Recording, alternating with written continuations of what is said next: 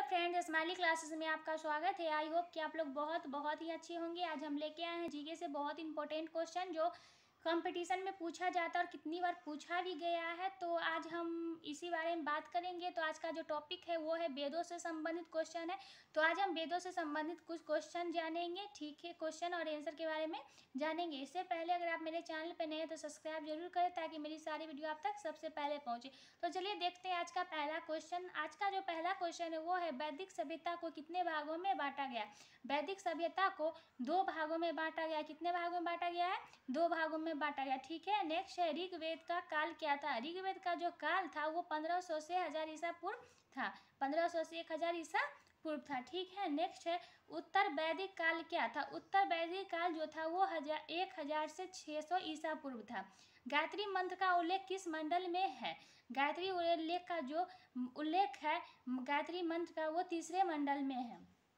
Next है, चौथा मंडल किससे संबंधित है? चौथा मंडल जो है वो कृषि से संबंधित है। सबसे पुराना वेद कौन सा है? तो सबसे पुराना वेद ऋग्वेद है।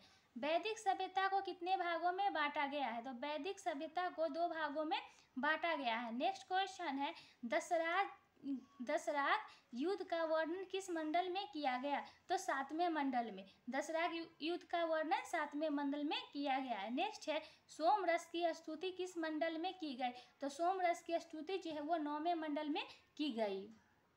नेक्स्ट क्वेश्चन है, पुरुष सूक्त वर्ण का उल्लेख किस मंडल में किया गया था? पुरुष सूक्त वर्ण का जो उल्लेख है, वो दसवें मंडल में किया गया है। ऋग नेक्स्ट क्वेश्चन ऋग्वेद ऋग्वेद काल का सबसे प्रधान देवता कौन था? तो ऋग्वेद में सबसे प्रधान जो देवता थे, वो इंद्र देवता थे, ठीक है? नेक्स्ट है, ऋग्वेद में इंद्र देवता का नाम कितनी बार मिलता है? तो ऋग्वेद में इंद्र देवता का नाम दो सौ पचास बार मिलता है, ठीक है? नेक्स्ट है, ऋग्वेद का दूसरा देवता कौन था? तो ऋग्वेद का दूसरा देवता अग्नि देवता देवता था, ठीक है? ऋग्वेद में अग्नि देवता का उल्लेख कितनी बार किया गया? तो ऋग्वेद में जो अग्नि देवता है, उनका उल्लेख दो सौ बार किया गया है, ठीक है? नेक्स्ट है ऋग्वेद वैदिक काल की पवित्र नदी किसे कहा गया? ऋग्वेद में वैदिक ऋग्वेद वैदिक काल की जो पवित्र नदी है, वो सरस्वती नदी को कहा गया है। नेक्स्ट है, ऋग्वेद वैदिक काल में यमुना नदी का उल्लेख कितनी बार किया गया? ऋग्वेद में जो यमुना नदी का उल्लेख कितनी बार किया गया? तो तीन बार। ऋग्वेद वैदिक काल में गंगा नदी का उल्लेख कितनी बार किया गया है? तो इसका आंसर होगा, एक बार कितनी बार किया गया? है एक बार।